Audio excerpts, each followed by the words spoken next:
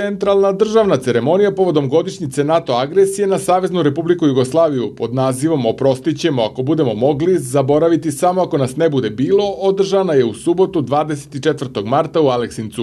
Više detalja od našeg dopisnika iz Aleksinca Dušana Stevanovića.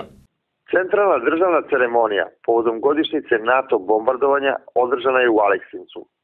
Ceremoniji pod nazivom Oprostićemo ako budemo mogli, zaboraviti samo ako nas ne bude bilo, prisustvovali su predsednik Srbije Aleksandar Vučić, premijerka Ana Brnabić i drugi članovi vlade, predsednica parlamenta Maja Gojković, predsednik Republike Srpske Milorad Dodik i mnogi drugi zvaničnici. Ceremonija je počela na centralnom gradskom trgu simbolično gašenjem rasvete i zvukom sirene za vazdušnu opasnost. Predsednik Srbije Aleksandar Vučić je rekao da je NATO 1999. godine udario na malu zemlju ponosnog naroda koji je bio kriv što postoji i što čuva svoje.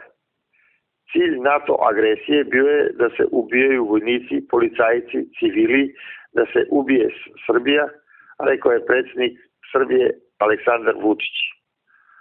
Vučić je rekao da je taj zločin objašnjavan pozivanjem na diktaturu i loše ljude na vlasti, a kada više nije bilo te diktature i tih ljudi, nastavljeno je kažnjavanje Srbije, proterivanjem našeg naroda sa Kosova, odvajanjem Crne Gore i priznavanjem nezavisnosti Kosova i Metohije, istakao je on.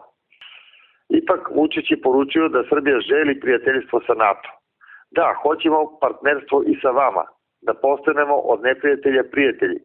Samo nas ne terajte da zaboravimo i da svoju zemlju krvavimo, rekao je Vučić. Vučić je naveo da je Kosovo i danas opet glavna tema i da je kompromis jedini način da se reši pitanje Kosova. Da Srbija gleda u budućnost i da bi sve ostalo bilo čorsokak.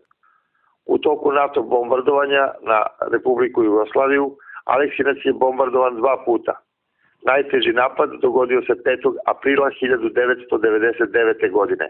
Toga dana sa sedam projektila pogođene su dve centralne gradske ulice.